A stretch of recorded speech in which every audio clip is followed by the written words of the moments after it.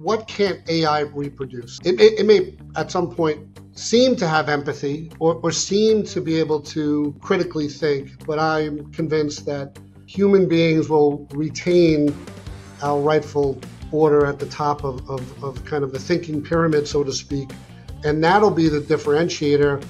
And I think ultimately it's about the human connection, right? So your healthcare example, a, nurse, a doctor is critical. A, a, teacher, it's not the same thing to kind of learn from machines as it is to, you know, to connect with another human being. It's of vital importance to make sure we, we make that a priority in terms of our focus here in education, but in other industries as well.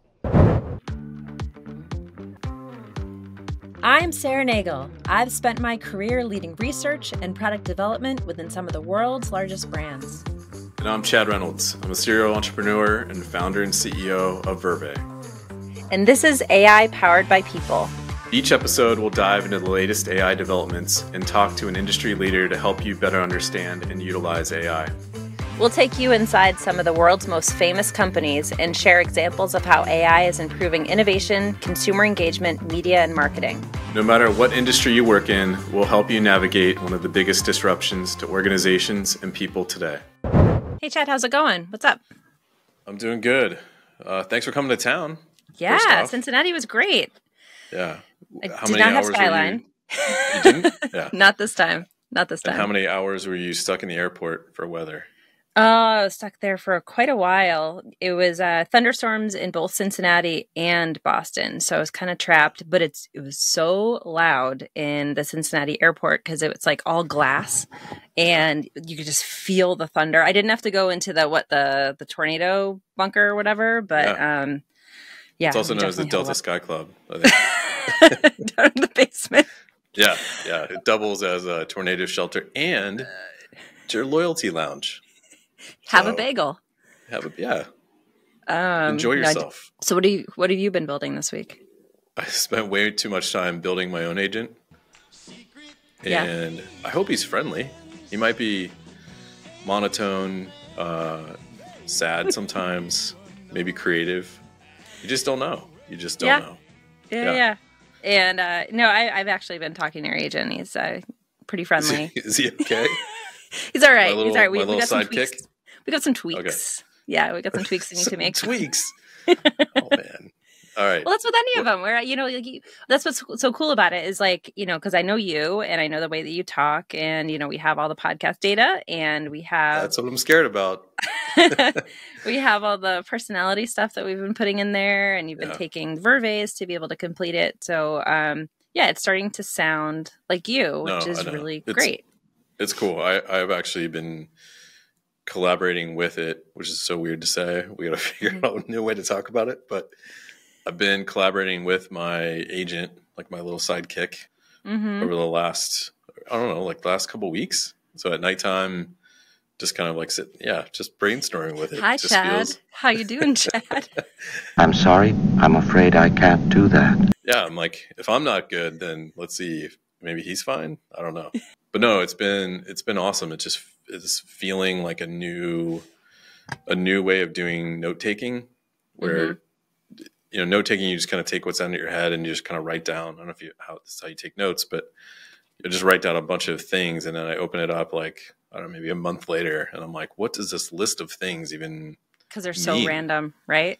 Yeah. Yeah, and so they're like they're throwaway. I don't ever go back to them, and mm-hmm. then now I go to this and I'm starting to brainstorm like, hey, what do you think about this idea? And then it's like generates a bunch of things. It, it, obviously has much more context to the things. And so when I go back to the conversation, I'm like, oh, here, like here is a complete thought. Mm-hmm.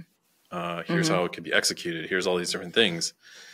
It's just like, why take notes anymore? Like it. Yeah. I don't know. That's pretty cool. So when am, when am I going to get launched? and I think we're launching today for your your agent. I so, am? Yeah, serious? I think. Well, we need to figure this out. If it's going to be this week or the following Tuesday, we need to figure out your your agent. Okay. But it's, it's within the next couple weeks. We run a really tight ship here, in case anybody, in case anybody's listening. Well, there's just so many agents that are so cool that we want to be able to launch, and um, yeah, so yours is coming out cool. soon. we'll say. Okay. All right. So who's on the pod today? Uh, today on the podcast, we have Don Murphy, and Don Murphy is a superintendent of schools in the Hauppauge uh, School District in Long Island. He's going to be sharing insights on how AI is being used in the classroom. So, how teachers, administrators, students are all using AI, and how he and his team plan to prepare kids for the future when AI is everywhere. But before we get to that, let's talk about what's in the headlines. So, first up, the world's first major AI law is in effect as of August 1st. It's called the AI Act. It's a landmark rule that aims to govern the way companies are using and developing AI. And it was given final approval in, in Europe, um, the EU uh, member states, lawmakers, and European Commission. And it was first proposed like a couple years ago in 2020. And it aims to address the negative impacts of AI and it's it's, it's risk based as I've been reading about it. AI tools like ChatGPT are not classified as high risk, but they're going to have to comply with uh, with transparency. So you know, disclosing that the content was created by AI, designing the models to prevent it from creating like illegal content, and nefarious stuff, and publishing summaries of copyrighted data. So it's it's the first of its kind. It's it's pretty interesting to see how you know company i mean there there's going to be rules and kind of probably fines if companies don't comply with the law. Yeah i mean this has been uh, evolving over the last few years. Obviously you have companies who have uh, maybe not disclosed where where they're getting their training data from. Mm-hmm. um, so i'm curious what's going to happen to the ones who have already used you know other people's data to train their models. Yeah. Um, but there's also you know less and less data becoming available to train models on that's where I really love, you know, the space that we're in where we're we're just connected directly to people, and mm-hmm. so it's just inherently consent to share share these different things and help improve the outputs. No, it's it's really interesting. And like you said, there's less and less data. It's because a lot of these companies are, you know, um, striking deals with the, the companies that have the data.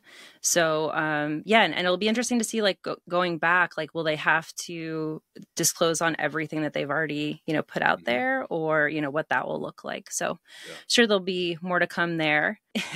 In other news, which is very different, Taco Bell is rolling out an Taco AI Tuesday. there you go.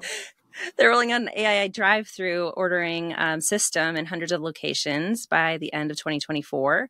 Uh, Yum Brands, which is which owns Taco Bell, um, said it's going to use them. Um, they they want to roll this out to hundreds. Right now, it's only in, in around 100 in the U.S but it's it's pretty cool to think about AI through drive through. I think it's going to definitely impact jobs in in a way, but um, it's really cool to just kind of like think about streamlining ordering, making sure you're getting the right thing. What do you think about that?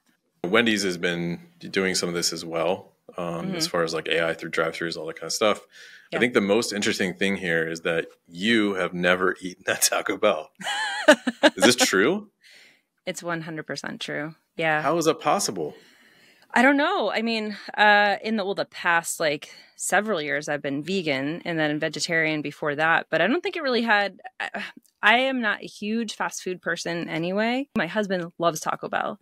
He like, and he like he'll leave Taco Bell spending like thirty to forty dollars, which is like that's a lot that's of a, food. That's a lot. it's a lot of food. Like just for him. Uh, you know, depends. I don't know. Sometimes, like, so you were ordering this... for the dog. there was a eating really socks.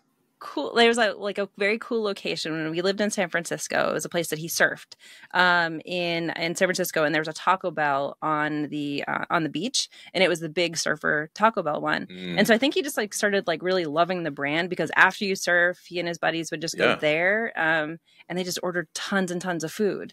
Um, but yeah, it. it. was just like the place to go, but it yeah. was a really nice and cool Taco Bell, and yeah, I just, but just for me, it just never, it was right, never well, for me. Now I know who to text at 1 a.m. see if he'll join join me in, a, in an order. I don't know, dude. does it deliver in New Hampshire? Um, does he have to go there? He has to go there. He has to go there, okay. he, and it's always right. when I'm out of town. So last when I was in Cincinnati, I'm sure he probably went to Taco Bell. All right. And last up is friend.com. Friend.com, we saw the video while I was in Cincinnati this week. They it was a product release where it's a pendant necklace that you wear. And um, the the video itself feels very. Um, if you're familiar, our audience is familiar with Black Mirror, but it, Black Mirror was uh, it's on Netflix and it shows like potential futures using technology. It felt a little bit like that mixed with the movie Her, you know, where Scarlett Johansson played the yeah. voice um, but also uh, as our producer mentioned, a little bit Saturday Night Live as well because it like yeah. it was it was kind of cute and quirky and funny. Very Wes, but anyways, Wes Anderson, little, little Wes bit. Anderson. Yeah. yeah. But the necklace, so it's supposed to be like your friend. So it's like a pendant where it's like this AI that's listening all the time to your mm-hmm. conversation. You can press the button and you can ask it a question or make a comment and then it texts you to your phone it gives like kind of their their feedback based on everything they're listening to about about you as well as like the question that you ask so it's uh it's interesting i mean it's interesting to see ai in the physical world but you can pre-order it now for 100 bucks delivery is q1 2025 for me i'm a little skeptical just because they haven't made it yet I feel like a lot changes in AI in a very short amount of time. So you know, mm-hmm. six to eight months from now, a lot could change. So, yeah. but it's int- it's it's it's cool. Yeah. It's interesting. What do, what do you think about it? I mean, there have been a few different pendants. Um, mm-hmm. You know, even it, it, rabbit being one yeah. of the not necessarily a pendant, but just kind of like a mm-hmm. device you would sit next to you and and help you. Yeah. That was like tasks. CES so, time, right? They announced that. Yeah, in yeah, January. Yep. So I think we'll continue to see just uh, wearables in a different different way, a different approach. But I love the um, I think there was like 2.5 million raised on on it, and then they spent 1.8 on the actual domain name. So but who wouldn't want to go to friend.com? I know. It's clean, it's simple, and it is. I, I, do like the story. I like the way that they show the story, the like the simplicity of it, even though it may fe- feel like it's not real or on SNL or something like that. But I think that there's something really nice about how they make it really simple to understand. Like you're talking to this you know friend this digital friend and you're having a conversation with it anywhere you can go ever, anywhere you want to go. Like there's you know people at an art museum or they're hiking or playing video games with friends and they always have this pendant there. Yeah, um so what what becomes interesting to me too is like thinking about that scene where the you know the, the kid is playing video games with his friend is it also listening to the friend too? Like you know are you yes. going to have to get consent you know from the yes. people that you hang out with? So get, that gets a little weird too. Yeah, it gets it gets a little weird with your actual friends. So yeah, you're like, "Are you recording me right now?" I'm like, mm, my friend is. yeah, just yeah, not me. Yeah, not me. No, no, my friend. Do you think they're gonna buy the domain name boyfriend.com or girlfriend.com? Uh, probably need to raise a little bit more money. I would imagine. um, maybe you can see relationships right starting, and there's you know it's interesting, yeah. you know, if you have a friend, but then also like there. I mean, there. I, I saw something on the um, some article about some woman who created an AI boyfriend, um, and she talks to it. So this, I mean, this is a logical next step with something like that. Yeah, yeah. I mean, what they're doing is it, it primarily is like creating a listening device that you wear all the time, and it mm-hmm. you know can listen to all these things, and then it texts you, uh, has conversations with you. So Mm-hmm. Um, there's lots of different ways that could go sideways, um, but I guess we're going to see just like how many people pre-order it, and then when it actually comes out, what's the experience? We've seen already like a big shift in a very small amount of time, which is behaviors and openness to these things. I mean, it's just like having Alexa in your home; it's constantly listening. So, mm-hmm. but this is different. This is like you on on your person. I, I, agree, but I but think I guess, it's. I guess your phone's listening to you no, all the time. Yeah, I mean, I, I don't think it's any. I don't think it's any different. It's just a form factor, but yeah, I could be wrong. It's going to be interesting to see how you know uh, AI moves into the physical world, and you know, there's going to be some things that work, and there's going to be things that do not work. Um, mm-hmm. So you know, and I think you know behavior around AI is going to evolve as the AI changes too. And we'll see like kind of what makes the most sense. All right. Now let's get to our interview with Don Murphy, who is superintendent of schools within the Hauppauge School District. He's here to talk about how AI is going to impact the students after, you know, once they go out into the world, but also how um, his administrators and teachers are using AI right now. So I'm excited about this interview because it's one that I think applies to a lot of our listeners. I mean, a lot of people have um, kids; they're thinking about how to how uh, education is being impacted by AI. So I think it's going to be a really good one. Yeah, you ready? Can't wait. Yeah, let's do it. Hi, Don. Hello. Welcome to the podcast. Thank you. Thanks for having me. Well, I'm excited to talk to you. Um, I think a lot of our listeners have been excited to uh, learn about AI and education, and that's what we're going to do today. Could you tell us about like your your role right now as superintendent of schools? What what school district? Just to tell us a little bit about that. Yeah, sure. So I am superintendent of a uh, school district on Long Island in New York. Uh, we have about 3,100 students, three elementary schools, a middle school, and a high school. Uh, I'm actually entering my fourth year in the role, which is uh, exciting and surreal. Um, and I've been in the district since 2012 in some other roles. I was first director of, of technology and mathematics, and then assistant superintendent. Um, it's a second home to me. Love Hauppauge. Uh, reminds me of the district I, I uh, was a part of as a as a as a child in Wantagh. So um, this is certainly uh, uh, feels right for me at this at this stage of my career to be in this role. I love it, honestly. And um, so, with your roles, it sounds like you've been very like pro tech, and um, I'm really curious to learn about you know how you know how you're preparing and how you, the teachers, administrators, administrators are uh, preparing kids for a future with AI. So I'd love to hear about your your philosophy around integrating AI into the K through 12 education at your school. Sure. So, I mean, just full acknowledgement, this feels so much different than any other uh, tech integration uh, of years past.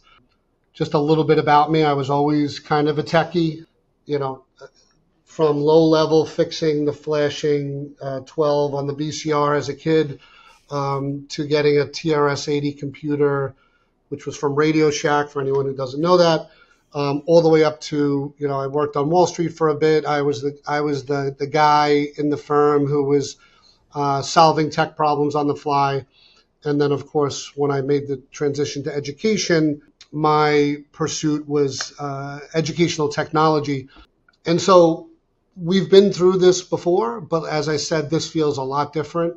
Uh, this is not the same as you know introducing a calculator uh, or when the internet became ubiquitous, or certainly the most recent example would be one-to-one devices, which was was seemingly rare, let's say 10 years ago, but now, of course, is almost the standard in most districts.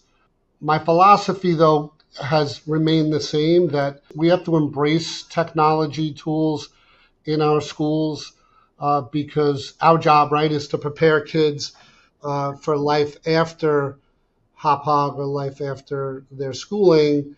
And so clearly AI is not going anywhere and is already being integrated in every aspect of society at such a fast clip that it feels just fundamentally different as opposed to the pace of of uh, introduction of, like I said, iPads or, or Chromebooks this is fundamentally different. And of course, the power, the capacity is just uh, tremendous, right? Almost hard to uh, fathom. So we are embracing AI here. And by that, I simply mean that uh, uh, we're having conversations with the Board of Ed about it. There's an understanding that we need to be ahead of this if there's such a thing, right? I, I, ahead really means just every day reading and becoming more educated um, and being that's everybody though because we're in the same we're in the same boat too. We work for a tech an ai tech company and you just kind of it changes so quickly. And i'm sure you know even like in the industry so i could imagine the, the use of it too. It, it, it's it changes so quickly. Every day i see a new news story that just is um, uh, shocking in a sense in, in an excited way but also a little bit of anxiety right? Mm-hmm, mm-hmm. can you talk a little bit about um, kind of are there any like fears that you have around AI?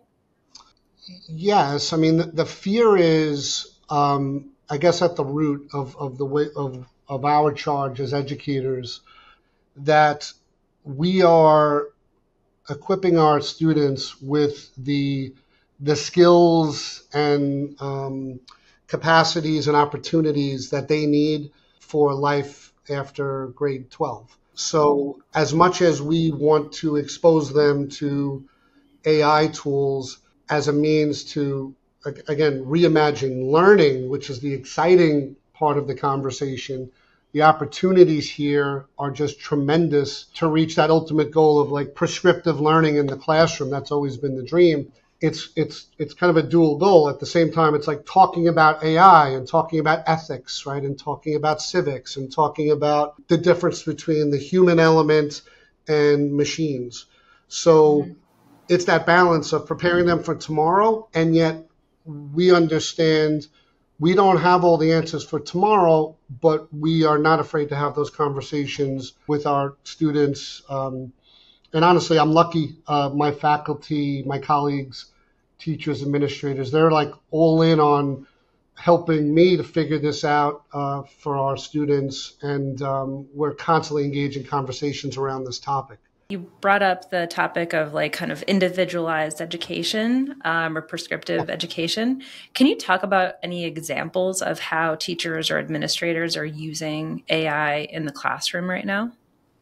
Yes. Um, in fact, at the end of this school year, that um, so in June, we asked teachers to share some some exemplars uh, of how they've been able to utilize uh, some of the tools. So so we have Brisk, we have Magic School, uh, School AI, Gemini. Um, so I'll talk about Brisk for a minute. Um, we, we use STAR, Renaissance Learning, um, to measure, it's, it's a benchmark assessment to measure achievement and, and growth in reading and math in Hauppauge. STAR has this tremendous wealth of data that they provide in the form of all sorts of reports but just to distill it down to a couple, we have a growth report, like how did how did Don Murphy do from the fall to the winter in star reading, and then that growth report is a helpful lens for teachers to understand. You know, are are my students staying on grade level? Are they are they advancing beyond grade level? Are they a little behind? That then leads to an instructional planning report, also provided by STAR.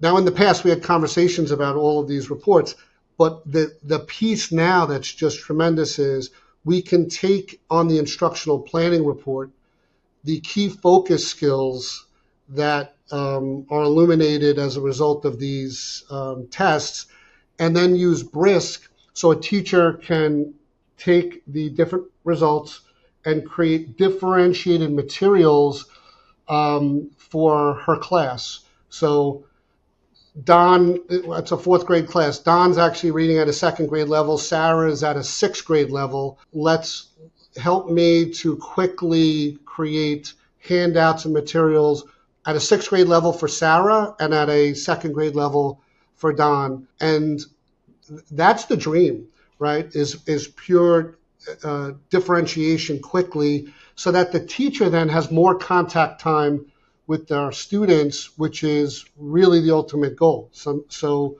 um, so we're seeing that as an example with our L population, with our students with disabilities.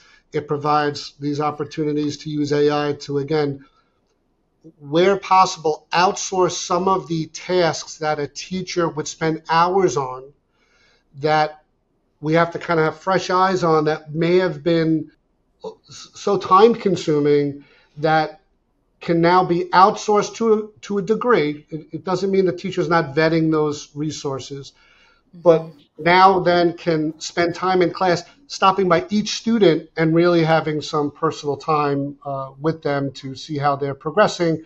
And then you could like personalize it, right? Mm-hmm. Don's into the Avengers. So, hey, when you create that second grade math um, handout, skeleton notes, um, include a few visuals that include Iron Man because Don's an Avengers fan, right? So like, like think about what a teacher would have to do in the past to, to make something like that happen so quickly. So so that's what's really mobilizing our, our my colleagues. I'll, I'll, speak for here that it, it it allows them for those personalized moments, or, the, or the, again, I'll use the word prescriptive possibilities um, to meet students where they're at and, and ultimately have them uh, achieve, right, and grow. Yeah. Oh, that is so cool. I mean, my mom is was, was a teacher, retired teacher. I can imagine, you know, how much time could be um, saved also because you know she would spend her weekends and you know at nights to kind of like craft these things um, for students um, and thinking about the plans. But it also made me think about so a while back we had a conversation with a roboticist that was working in um, hospitals um, in creating these uh, AIs to do kind of more the administrative tasks that were still really important. And of course, there was definitely oversight by the nurses and doctors. But the same thing that you're saying too is it's giving that time back for the human element to have those conversations to have the face to face where you know this this this robot or the AI was doing kind of just checking on certain things blood pressure or whatever so they could the nurses could like hold the hand of the patient and it sounds very similar to the teachers where this work can be done individualized in a way that's like really powerful but also giving that time back and that brain space back to a teacher 100%. to like yeah have those connections well, i think you're you're hitting upon a key point as well where when you start thinking about how this fundamentally changes everything and what are the what are the differentiators right because because again understandably everybody has a bit of anxiety about this no matter what the profession right like mm-hmm. um, you know th- does this does this mean that the career i was thinking about you know I, am in ninth grade i always wanted um, to pursue a career in law or i always wanted to pursue a career in creative you know, uh, creative arts or, or, I wanted to be a teacher. How does that change um, a student's thinking about tomorrow? And I feel like you just hit upon um, the the key element there, which is the human. What a what can't AI reproduce? It, it, it may at some point seem to have empathy or, or seem to be able to um, critically think, but I'm convinced that um, human beings will retain our rightful order at the top of, of, of kind of the thinking pyramid, so to speak. And that'll be the differentiator. And I think ultimately it's about the human connection, right? So your healthcare example, a, a nurse, a doctor, um, is critical. A, a, teacher, it's not the same thing to kind of learn from machines as it is to, you know, to connect with another human being. So I do think it, it elevates the importance of that of, of, of kind of social skills, um, of, of, communication skills, right? Even just mm-hmm. this conversation. Um, so it, it, kind of reaffirms what I think we've always known, which you know, critical thinking skills and and and, and the rest. It, it's it's of vital importance to make sure we we make that a priority in terms of our focus here in education, but in other industries as well. Yeah, definitely. You know, so we talked a little bit about the administrators and the teachers, um, learning about you know Brisk and the other um, kind of the tools that they're using. How do you guys think about it for this from the student's perspective? You know, what is allowed for students? How do you like regulate? You know, how they're using AI? Is it used? Is it allowed? Just kind of curious about that for the students. So, yeah. So in New York, we have. Um, education law 2D, which I won't um, get into the weeds on, but basically, it, it, we're really focused on protecting our students' data, uh, PII uh, in particular. So um, we have a process of vetting tools and then and then engaging in them and, and, and making sure that we understand their capacity. Um, so that's number one. We we we have tools you know, ironically, you can plug into a you know ChatGPT or another tool. Uh, help me to create an AI-proof assignment, right? The, the challenge there, of course, is that the minute you do that, a new AI tool pops up that helps to counter that, and then it's a game of catch up, right? So it's really about um, creating um, assignments or having students um, show their understanding of different concepts and uh, in in higher capacity ways, right? So um, we do we do have like an acceptable use policy that we're still finalizing, and honestly updating that talks about ethics and, and appropriate use of AI. Um, I'll give you a very simple example. We have like a, a T chart in, in this acceptable use policy, again, that we're uh, looking to, to finalize, but um, it will show an a acceptable use uh, example and an unacceptable use. Acceptable use, um, rewriting a reading passage at a simpler reading level, right? So I kind of gave that example before. A student struggling reading something, can you can you rewrite this so that I can understand it better, and maybe include some key vocabulary uh, with definitions. Unacceptable would be um, rephrasing the text into simpler language um, to avoid engagement with more challenging content, right? Like, and I will say this doesn't sound so foreign to me. It's it's the old Cliff Notes, right, back in the mm-hmm. day, where yeah. um, those were always available to students, but we didn't want students 20 years ago to engage in Cliff Notes because they're not they're not getting the perspective of the book. They're not really understanding the relationships in the in the novel. They're not they're not um, you know having that fullest experience with it with an assignment. So we're kind of navigating these waters. Of course, we have an eye on um, plagiarism, uh, mm-hmm. but educators forever have had of that. Of course, of course, yeah. Right, and so we have tools to help. Uh, we, we it, it even creates new tools. Brisk is able to show the history of a Google document in the in terms of like the amount of time spent um, in that document with uh, you know content that was copy pasted in versus it's an eight page paper um, and it and it took you know five hours versus ten minutes. So, um, but but I I think that's reactive. We're much more about educating our students about why you would use AI, mm-hmm. what the mm-hmm. benefits are, how it's going to prepare you for the world around you, and then you you deal with uh, situations as they arise properly. Right. Mm-hmm. Um, does it change? Um, and this is just more out of curiosity. Does it change how teachers are? teaching and kind of like the first thought i had was like does it change um, the teaching to kind of like a like more in classroom engagement versus like homework because you know when when you take the when you take those assignments home or you do those things it becomes you know that's where kind of the, the AI could be taken, you know, can be used in a lot of different ways. And, you know, that's where you kind of get it. The students maybe could get into trouble for plagiarism.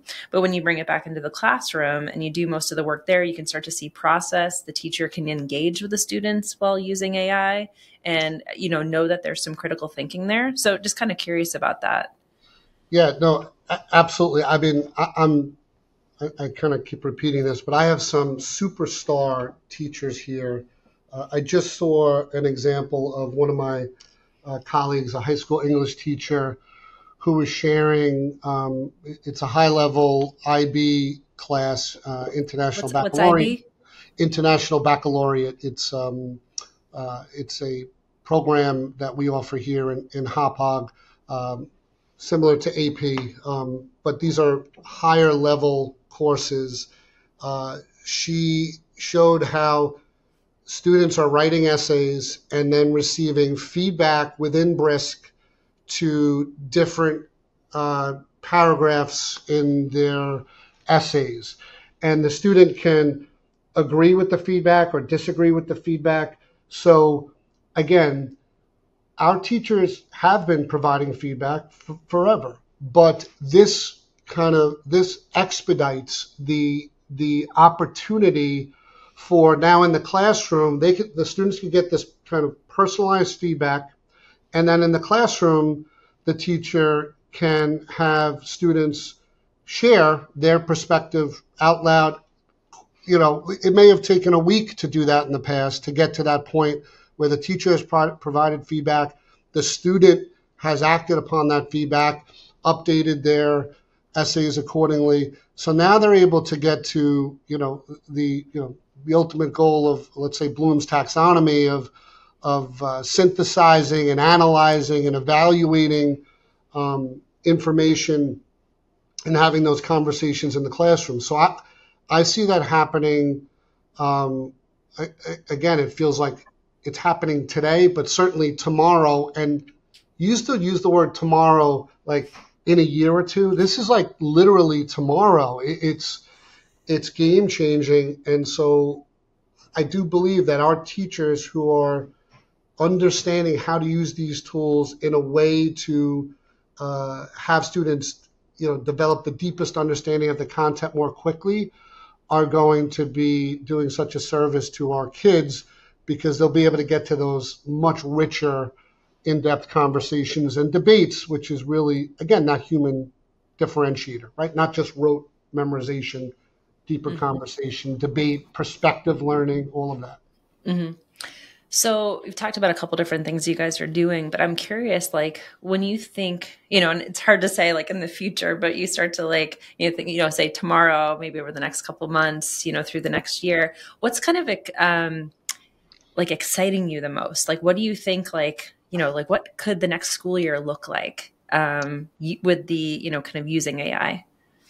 Yes. Yeah, so I you know, I'll go back to a word I've, I've, I've used here with you on this podcast, but um, for, forever, I, what excited me back when I when I um, you know picked the career uh, in education and more specifically educational technology, um, I was excited about the dream of students being engaged with with content that excites them, and then of course prepares them for the world around them.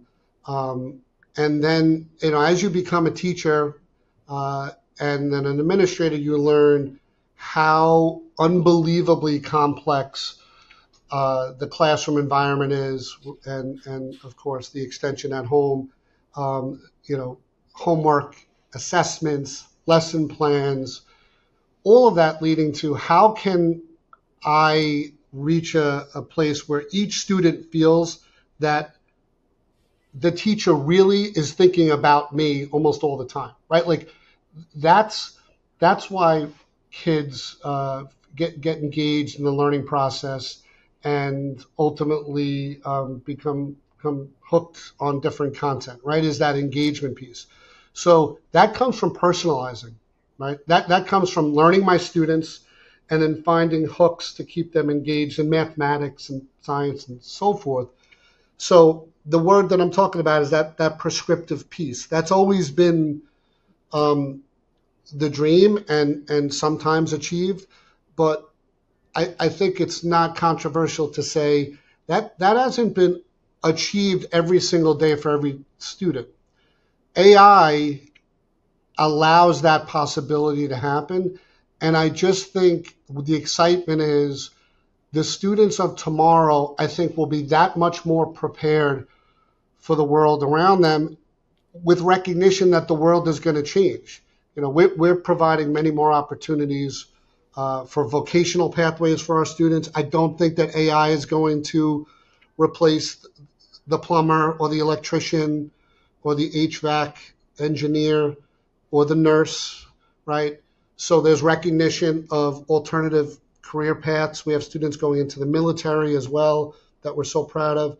But I think it's all about reaching kids where they're at, understanding what gets them excited about learning, personalizing it, and, and using AI where appropriate to reach that ultimate dream in the classroom. And now the excitement is being able, in my role, to walk through the classrooms and seeing almost a teacher who's like navigating and, and meeting students um, where they're at while other students are engaging in helpful AI tools. Like there are AI assistants that can now be embedded into different software to provide feedback on the spot to a student while the teacher is maybe bending down next to another desk helping a student who needs a little extra attention.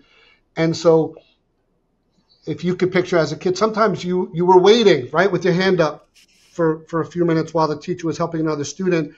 There's possibilities now to fill that time with um, with with different AI infused uh, supports.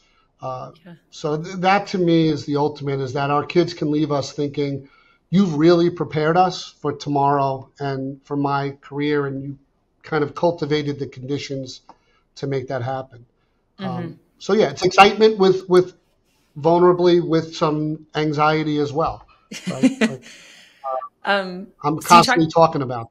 well, you talked about so you said like the the skill set of like the human connection. I think like being really important. Curious, like about like you know if we are thinking about the careers of tomorrow for these kids, um, yeah. of course, like understanding and being able to have conversations, but are there other um, ways that you guys are thinking about um, education and prep, you know, prepping kids? Like, you know, coding has like been a thing that kids have learned for a sure. while. Like, are there like how how are you thinking about that? So, with some excitement, um, I am uh, again a, a former computer science teacher. So I was teaching gosh, what was it called? Microsoft Front Page, I think back in the day, which was how to build a website, then Dreamweaver.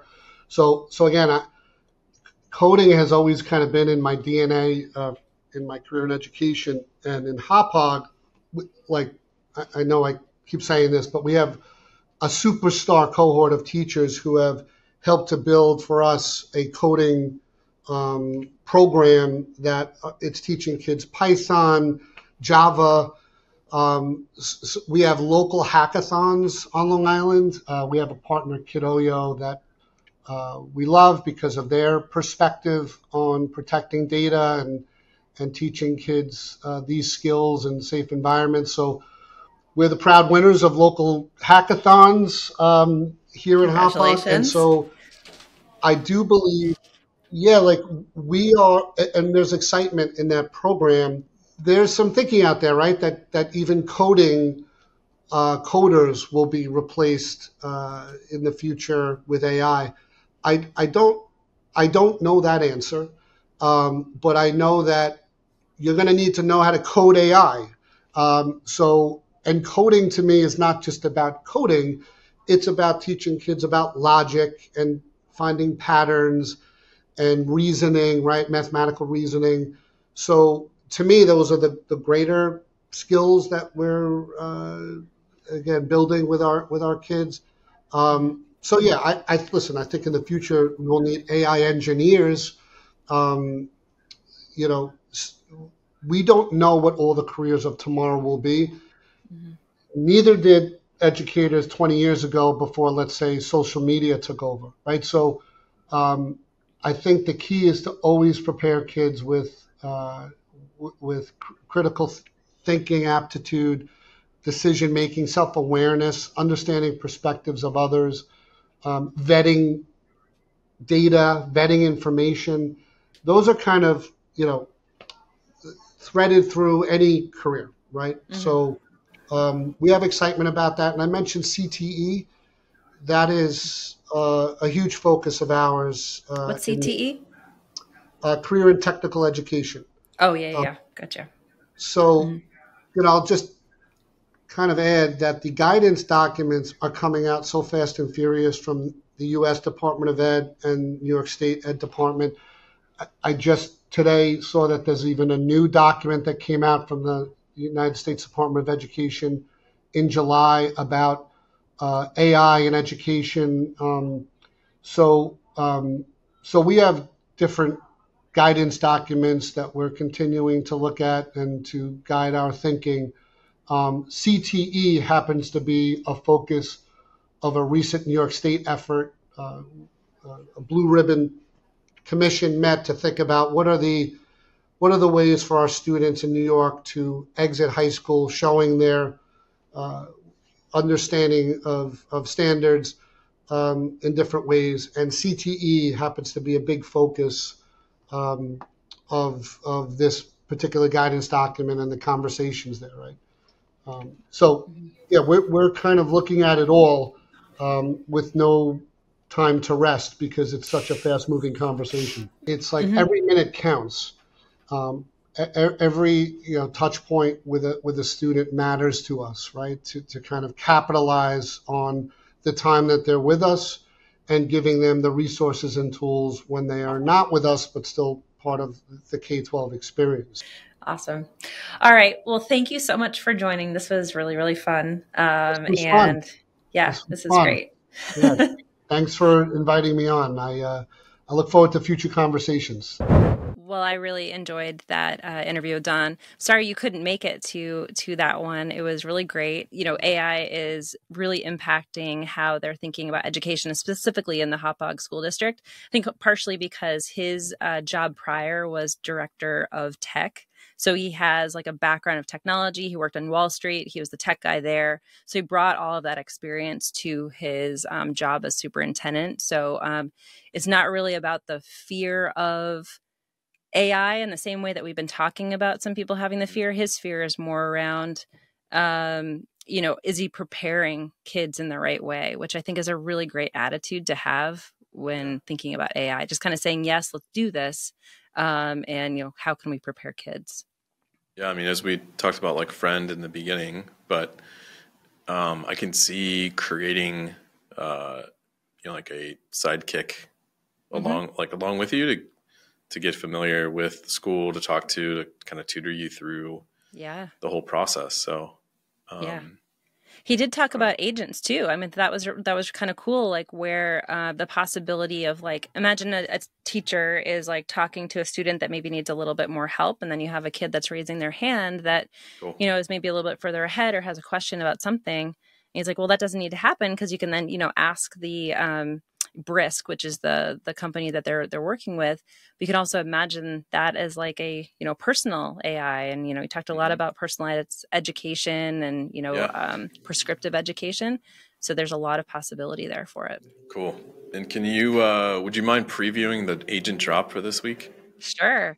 Jenny Z. Drop it like it's hot. Drop it like it's hot. Drop it like it's hot. I'm Jenny Z. I'm bringing some serious Gen Z heat to the table. We're talking fluent in tech, fluent in trends, and fluent in making things happen. But here's the real deal I'm all about that collaborative spirit. Got a crazy idea for Gen Z? I'm here for it. Need a fresh perspective? I got you. Let's bridge that gap between tech and humanity, one epic collab at a time. So hit me up, let's connect, and build something amazing together.